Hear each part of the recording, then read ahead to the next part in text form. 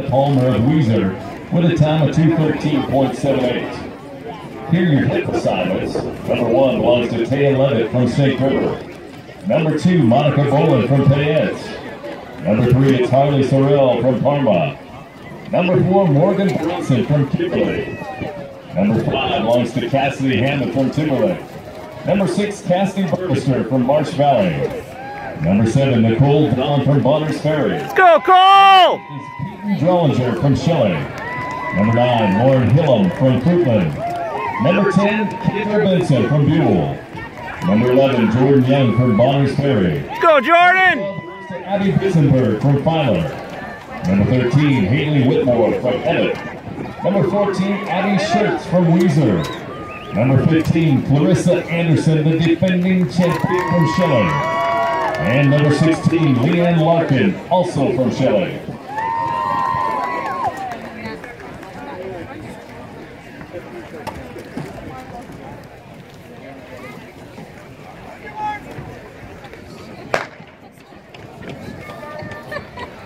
And they are cleanly away.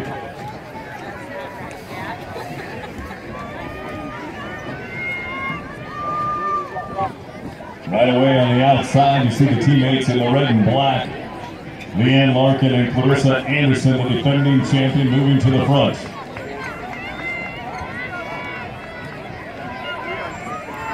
Kendra Benson also right behind from Buhl.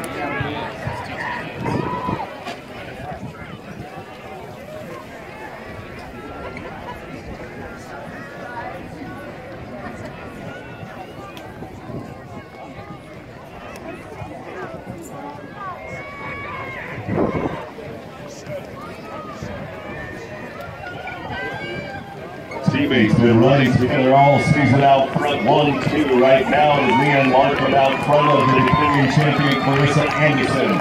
Both from Shelley. In third place, number 13. All right, Cole, nice and relax your arms. Go after Jordan. Kendra holding on to fourth. And now Anderson makes the move on her teammates early on as they make the turn. A touch over 300 meters now to go. They go one, two. It's going to be racing against each other all the way to the line. They're going on the backside right now. Ponytails bouncing shoulder to shoulder as they go. Anderson one, Larkin in two. The defending champions up front, 7200 meter mark. Clarissa Anderson, Leanne Larkin.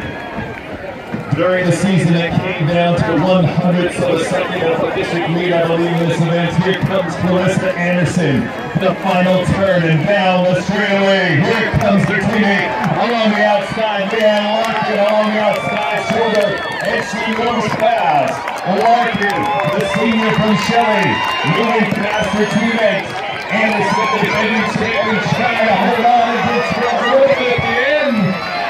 No, it will be Larkin right at the line. Anderson in second place. And Drollinger. One, two, three, Shelley Russets.